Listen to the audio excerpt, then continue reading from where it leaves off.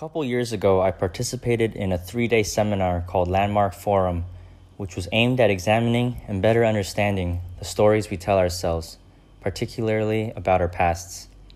Specifically, we explored how those stories led us to where we are and how transforming those stories can lead us to where we want to go.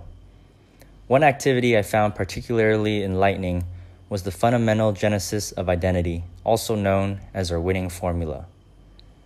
Because as much as we would like to believe that we're intelligent, free thinking, rational people, the truth is we're, more often than not, heavily controlled by our emotions, traumas, and circumstances.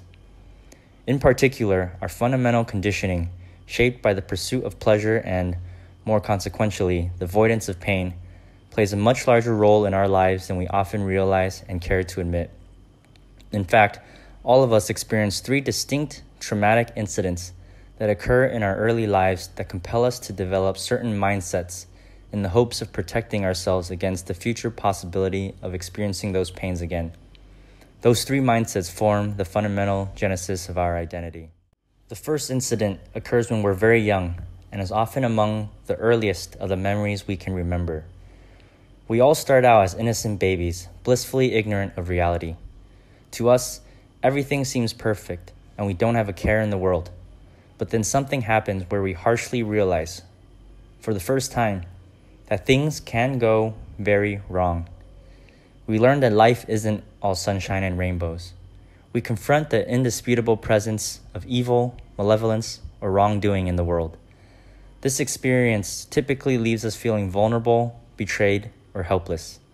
And as a result, we tell ourselves a particular story about who we need to be to guard against this pain from ever occurring again. The second incident typically occurs in our early adolescence as our focus of learning and attachment shifts away from our parents and onto external factors, such as our friends and hobbies. With this shift comes a need for acceptance in our new social domains. It is during this time that another significant experience occurs that compels us to realize that we don't belong in these new groups based on who we currently are. We experience rejection from the very sources whose approval matters the most to us at that point in our lives. And in order to gain the acceptance we so desperately crave, we again tell ourselves a story about who we need to be. Finally, the third incident typically occurs in our late adolescence and early adulthood as we transition into increasingly independent people. It is during this time that we experience a moment of stark realization that we are effectively on our own the manifestation of this awareness could be financial, emotional, moral, or spiritual in nature. Nevertheless, we all concoct a story of what this means for ourselves and how we need to be to cope with this new understanding. It's important to note that the timelines for our winning formula can vary greatly based on individual circumstances due to differences in upbringing and culture. It's also important to note that the events characterizing these three pivotal experiences are significant to each individual.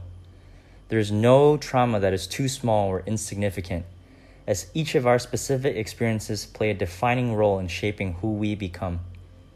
We don't have to grow up in a war zone and be tortured for a trauma to affect us.